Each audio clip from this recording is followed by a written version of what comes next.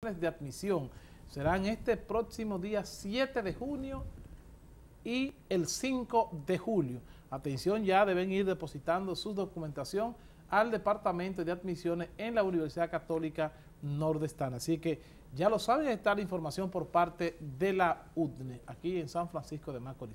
Y le damos nosotros por la bienvenida una vez más a este espacio, esta que es la entrevista VIP en contacto diario al ingeniero Daniel Canela, encargado de tránsito del Cabildo de, aquí de San Francisco de Macorís. Ingeniero, saludos y bienvenido. Eh, muy buenos días, Víctor. Buenos días, Sergio. Y a todos los franco-macorizanos que siempre siguen este espacio. Placer de compartir con ustedes esta entrevista para poder ilustrar a los franco-macorizanos de los acontecimientos próximos que se darán en San Francisco de Macorís. Que, es un tema fuerte lo que te toca. Un poco fuerte.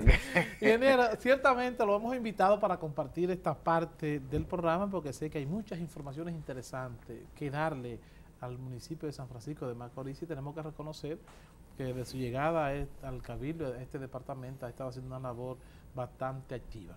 Pero vamos a iniciar con la parte de los espacios públicos. Claro. Que ha sido una preocupación histórica, eh, no solamente aquí en San Francisco, sino en otros municipios, pero este que es el que nos incumbe a nosotros. Descríbanos qué se está haciendo para que el Cabildo pueda recuperar los espacios públicos aquí en San Francisco de Macorís. Sí, mira, lo primero que queremos dar es una información que muchas personas, instituciones, sindicatos, asociaciones de choferes y comerciantes en sentido general, es que los espacios públicos, el espacio público está regulado por ley y por normativas municipales para su uso y para el funcionamiento, el mejor funcionamiento.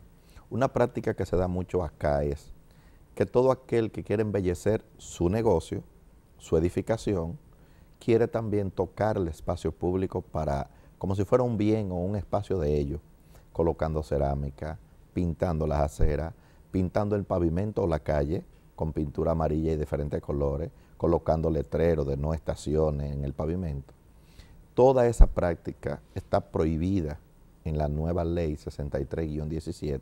El espacio público solo puede ser modificado por la entidad reguladora, que en este caso es el ayuntamiento, o con un debido permiso para usted hacer alguna modificación, pero esa modificación debe estar sujeta a las normas establecidas en los departamentos de tránsito y de planeamiento urbano de cada ciudad. Hago esta aclaración porque he visto en los últimos tiempos un incremento de las personas que hacen, quieren hacer uso del espacio público, marcándolo, pintándolo, eh, poniéndole, colocándole pinturas amarillas, como que eso es de ellos, no te estaciones. Usted no puede interferir lo que es el libre tránsito. Cuando usted coloca una pintura amarilla en el pavimento, la pintura amarilla significa en la ley de 41 y en esta nueva ley una prohibición. Es tanto así que hay un artículo de esta ley que indica que donde hay un, contén pintado de amarillo, pura y simplemente usted no se puede estacionar donde está ese contén. Entonces, las personas no pueden antojadizamente pintar sus contenes de amarillo o pintar en la calle unas cuantas rayas y unos cuantos letreros, porque ya eso está siendo una marca oficial de que por ahí no puede Y yo puedo pensar que ciertamente fueron las autoridades que lo hicieron. Exactamente. Entonces, le estaría dando derecho a la MET a que vaya y coloque un ticket a una persona que se estacione en un contén amarillo. Por eso eh, se han estado dando cuenta que cada vez que algún usuario hace una marca en el pavimento, un inspector de tránsito de nuestro departamento se acerca, le informa primero de manera verbal y si no atienden al llamado, entonces le mandamos una intimación eh, o una comunicación administrativa antes de eh, pasar a otro proceso que nosotros tenemos contemplado. Hago esta salvedad porque eh, se ha incrementado mucho eso. También el depósito de escombro en la vía pública. Bueno, sabemos que no hay espacio, que a veces usted está haciendo una remodelación o limpiando o reparando algún techo, tiene una cantidad de escombro, pero usted lo deposita de manera momentánea, pero tiene que mandar inmediatamente a recogerlo no acumularlo, porque también la nueva ley establece que cuando se ocasiona algún accidente lamentable en la vía pública por concepto de algún trabajo que se está haciendo, usted es civilmente responsable y penalmente por esa práctica. Entonces, estamos orientando a los ciudadanos para que se evite... Pero eso debe evitarse un problema. Evitarse problema. Y esta nueva ley sanciona que si por consiguiente de un trabajo que se hace y usted ocupa la vía pública o se ocasionara algún accidente con daños lamentables a la propiedad privada o que se ocasionen lesiones graves o muerte, hay sanciones de 25 salarios mínimos, de 25 a 50 salarios mínimos y de 1 a 3 años de prisión.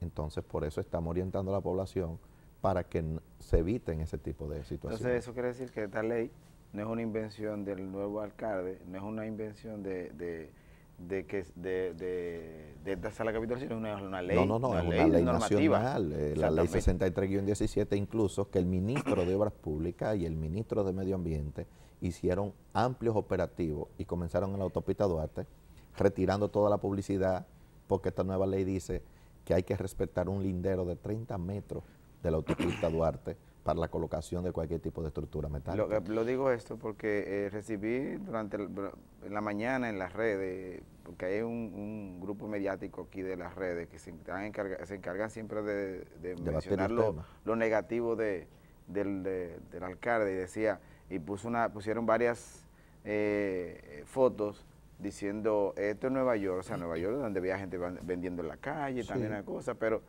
lo que él no sabe es que eso tiene una normativa allá en Estados Unidos. Allá nadie puede robarse el espacio de donde yo camino. Tiene una normativa, pero también hay avenidas que fueron diseñadas exclusivamente para, permitir.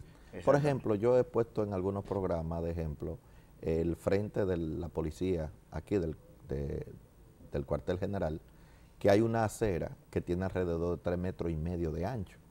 Y ahí hay unos tres o cuatro vendedores que están colocados ahí que no han sido objeto de notificación para que se retiren. ¿Por qué? Porque el espacio donde ellos están no ocupa el peatón, ni ocupa la vía pública. Y hay espacio para que cualquier persona se, se pare a, hacer sus compras y no interfiere. Porque lo de nosotros no es un asunto, son dos asuntos. Un asunto de es, mejor, para, el vendedor, porque el, transeúnte puede pararse, hacer todo. mira, es que no es un asunto nada más de contaminación visual es un asunto de seguridad y un asunto de humanismo. Es que no es justo que avenidas y calles de San Francisco de Macorís, que tienen una acera de un metro, usted coloca una mesa y un ciudadano de cualquier edad y de cualquier sexo tenga que bajarse a la vía pública con el riesgo de ser atropellado por un vehículo. ¿Cuántos accidentes no han pasado? Entonces, no es un asunto de capricho, es un asunto de seguridad y de orden público. Ingeniero, históricamente eh, aquí en nuestro cabildo se ha sido muy tímido en llevar a cabo este tipo de acciones. Recuerdo que cuando Antonio Rosario fue síndico de aquí de San Francisco de Macorís, la emprendió contra los tarantines que había en el centro de la Avenida Libertad. Recuerdan ustedes esa sabrosa carne, ¿verdad? Expuesta al aire libre que se vendía en la Libertad. Todavía se vende. la mocana. Entonces, Antonio Rosario en su gestión como alcalde la emprendió y limpió la Avenida Libertad, poniendo por encima tal vez la parte que los políticos toman más en cuenta y es no lastimar ni eh, eh, tocar ni con el pétalo de una flor esas personas no importa que el orden no importa que el orden esté deteriorado. podría crear un problema social. En esta gestión ingeniero se pretende ser agresivo en cuanto a lo que es la recuperación de los espacios públicos. Aquí los espacios públicos están tomados. Están tomados. Pero no usemos la palabra agresivo porque se puede malinterpretar. No. Lo que nosotros queremos es cumplir con lo que establece la ley. Y a raíz de que mucha gente me ha dicho el costo político que eso puede tener, siempre escucho que nuestro alcalde dice, yo no pienso aspirar. Y si el alcalde dice que no piensa aspirar, entonces no debe de importarle el costo político. Yo, por lo regular, eh, creo que esas medidas que se tomaron, o se han tomado y se han hecho ruedas de prensa, hay un problema fundamental, el ejecutor, que en este caso soy yo, que estoy al frente del Departamento de Tránsito y que me siento que cuento con el apoyo del alcalde, de los sectores judiciales y de otras instituciones que están participando con nosotros en esta tarea. Pero lo más importante es lo siguiente, el aplauso, las felicitaciones que nosotros hemos estado recibiendo del 85, para no decir el 90% de los ciudadanos. Es que si tú te fijas, solo un 3% de los ciudadanos franco-macorizanos son los que están ocupando la vía. Hay un 97%. Que son los usuarios de la vía. Que son los usuarios y que quieren tener vías con, con amplitud y sin congestión para poder desplazarse. Y a ese 97% de los ciudadanos es que yo le pido el apoyo y me voy más lejos. Yo le pido que no le compren a los que están ubicados en la vía pública, que no lo legalicen, que no lo legitimicen. Yo mismo, a los que hacen uso indebido del espacio público para parquear vehículos, que también eso es tan ilegal, los parqueadores. Y los dealers que hay en la calle. Y los dealers también. Pero los parqueadores colocan a los, a los ciudadanos en la propia esquina y le dice, párate ahí que eso no es nada, que la menos pasa por aquí. Pero ¿quiénes legitimizan a esos parqueadores? Los ciudadanos que le dan esa propina. Si nadie le diera... Y por la misma necesidad también que hay... La inseguridad. Pero que también esos eh, parqueadores, no voy a decir todo, porque pueden aparecer padres honestos que están ahí, pero hay otros que se combinan también para quitarle las luces.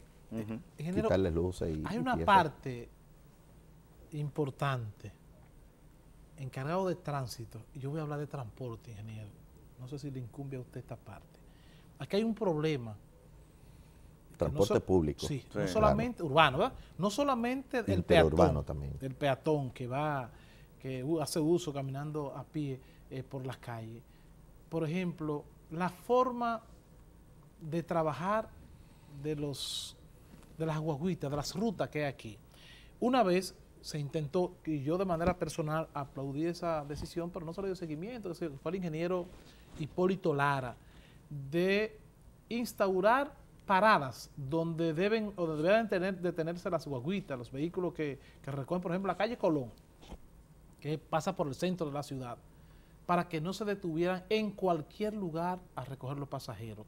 Yo entiendo que es una unidad muy, muy, muy buena que debió dársele seguimiento. Si una guagua tiene ya estandarizado que debe parquearse ahí, ahí van los, los pasajeros y se paran a esperar la guaguita y evita el entaponamiento en la ciudad. Yo le he dado seguimiento en los últimos días pensando es precisamente eso y usted tiene que ir detrás porque los conchos pretenden, creen que todo el que viene detrás es una guaguita también como ellos y van rápido y se paran donde quiera para recoger Ellos tienen dos sistemas, depende. Ellos tienen dos sistemas. Si ellos van adelante se ponen en la mitad de las rayas y si ellos van adelante y quieren pasarle al otro, entonces van más rápido de lo, de, lo, posible. Entonces, como quiera, hacen un caos. Ese es un desorden institucional, ese sí está institucionalizado, el desorden del, Entonces, yo me gustaría, si se pretende trabajar en eso, ingeniero, porque tenemos que educarlos a ellos y educar a nosotros, que si yo como peatón voy a tomar un, concho para transportarme, yo debo pararme allá. En todos los países Entonces, ahí yo lo espero sin eh, eh, eh, obstruir el libre tránsito para que pueda fluir, porque ya hay, que, hay que decir que el parque vehicular aquí, en San Francisco de Macorís ha crecido de manera claro vertiginosa. Pero mira, eso es importante, pero todo obedece a un plan. reordenamiento. Nosotros hemos anunciado operativo de desrabalización, descontaminación y reordenamiento del tránsito. Lo primero es desrabalizar, descontaminar y luego viene el reordenamiento. Dentro de ese reordenamiento estamos esperando, esta nueva ley manda la creación del Instituto del Tránsito y Transporte Terrestre y manda la creación del Consejo del Tránsito y Transporte Terrestre que va integrado por una cantidad de instituciones en representación de los ayuntamientos a nivel nacional, va el secretario general de la Liga Municipal. Ahí se va a crear la normativa. Una información es que todos los sindicatos de choferes dejarán de existir conforme a esta nueva ley. ¿Cuándo? No sé, veremos cómo sería la implementación. Y van a pasar a ser rutas del Estado Dominicano, llámese ayuntamiento y el Instituto del Tránsito y Transporte Terrestre, que son los que van a regular las rutas. Es decir, ellos no serán dueños de las rutas. Como son hasta el momento. Hasta el momento son sindicatos que tienen de manera legal o ilegal eh, una operación de una ruta determinada y ellos se sindicalizan, hacen protesta y todo eso. Entonces, las rutas serán diseñadas por el Estado y dadas en concesión a empresas de transporte público, no quitándole el derecho al Estado dominicano de que si una determinada empresa del transporte público no estaría dando el servicio necesario en los lugares ya acordados de la ruta diseñada, de eliminar esa concesión y darla. Y si una empresa no pudiera dar el servicio por una razón u otra durante un tiempo determinado, el Estado tiene el derecho de contratar de manera provisional a otra empresa que tenga las características y la calidad para que opere ese tipo de ruta. Eso conlleva que también viene esa regulación de dónde se van a parar, cuáles son los lugares, y la propia ley establece dónde no se puede recoger pasajeros. Pero también los ciudadanos van a tener que acostumbrarse a caminar unos metros más, no pararse simplemente en la puerta donde salió del establecimiento o de su casa a esperar la ruta de transporte público, sino trasladarse a la próxima parada. que frente a su casa, eh, bienvenido sea. Que todo el que ha viajado a cualquier sitio del país del mundo, ve a todo el mundo esperando su, ruta. Claro, es un reordenamiento general que, como tú decías, no se va a hacer de la noche a la mañana, porque todavía necesitamos reglamento para la implementación. Y ese reglamento creo que todavía no se ha comenzado a hacer porque el instituto y el consejo todavía no están creados. Ingeniero, eso se puede llevar tres días, tres años, diez años, Pero hay que 20 años. Mientras tanto, una, vamos a llamar paliativo, claro. para que eso pueda resolverse en el momento. ¿Tiene algún, alguna acción claro que sí. Independientemente de esa, esa política que se va a aplicar por ley, viene también lo que es eh, nosotros como Departamento de Tránsito ya están saliendo hoy mismo una cantidad de comunicaciones a los diferentes sindicatos de ruta de transporte con la intención de registrarlo y regularlo. Y a ellos es que le conviene porque el ayuntamiento es quien va a certificar cuáles son las rutas que operan de manera satisfactoria y, y que cumplen con los eh, acuerdos legales para cuando ese proceso venga ya estén preparados. Finalmente, ingeniero, eh, fechas para iniciar esas acciones en cuanto al operativo de recuperación de los espacios públicos? En la primera etapa tenemos pautado a partir del día primero, no el día primero como la gente cree,